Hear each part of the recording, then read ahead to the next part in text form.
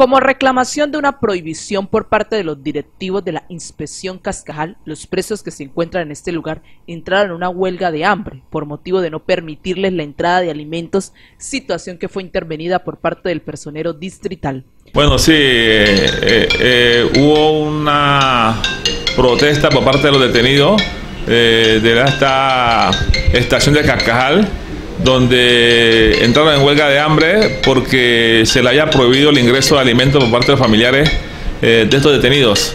Eh, ellos eh, en protesta hicieron esta huelga de hambre, pero afortunadamente hicimos la intervención y logramos de que el comandante de la estación y ellos hicieran un espacio autónomo, negociaran unas cosas y por lo tanto llegaron a un acuerdo para levantar esta huelga de hambre. Igual así como se acordaron unas situaciones para poder levantar la huelga de hambre. Según lo manifestado por parte del personero distrital, los detenidos no reciben una comida con buena preparación en el centro carcelario. No, eh, no, es tanto bajar la guardia por parte de la policía, sino que ellos están cumpliendo con un protocolo de seguridad.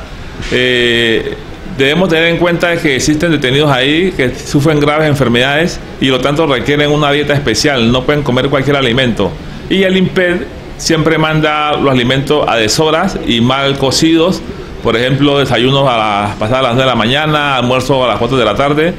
Con el propósito de conocer el estado de salud de los presos, se estaría realizando una jornada por parte de la personería distrital. Estamos pendientes de una reunión entre la policía, el IMPED y la personería para lograr hacer una campaña de salud dentro de este establecimiento carcelario, que entre otras cosas no debe ser eh, un, establecimiento carcelario, y no una estación de paso de algunos detenidos eh, para lograr eh, verificar la clase de enfermedades que sufren algunos y asimismo el INPE se comprometa a mandar la alimentación que requieran estos detenidos.